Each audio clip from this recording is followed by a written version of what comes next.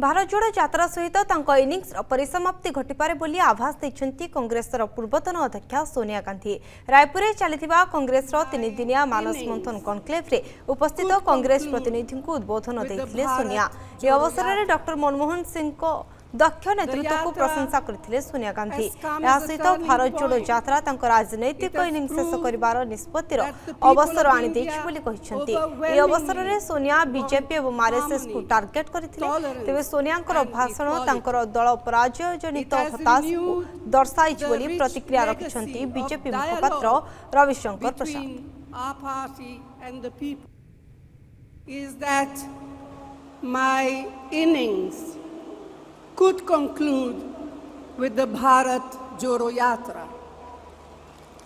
The Yatra has come as a turning point. It has proved that the people of India overwhelmingly want harmony, tolerance, and equality.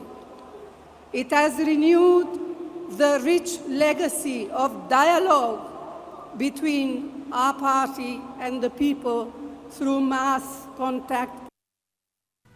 तो आज उनके भाषण में कभी अपने अंदर झाँक कर देखने की कोई ईमानदार कोशिश दिखाई नहीं पड़ी कि कांग्रेस पार्टी आज यहाँ कैसे पहुँच गई है। सोनिया जी, आपकी जो एक दो सरकार है, वो भी तो चुनाव आयोग के कारण ही जीती है ना?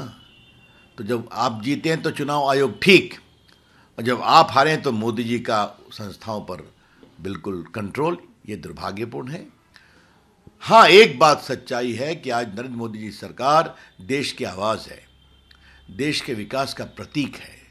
देश के गरीबों की अपेक्षाओं का केंद्र है नरेंद्र मोदी जी की सरकार। और गरीब, वंचित, पिछड़े, आदिवासी, अनुसूचित जाति, सामान्य लोग, मध्यम वर्ग, सभी उन पर विश्वास करते हैं। इस कारण से देश आगे बढ़ रहा है। तो आज उनके भाषण में कभी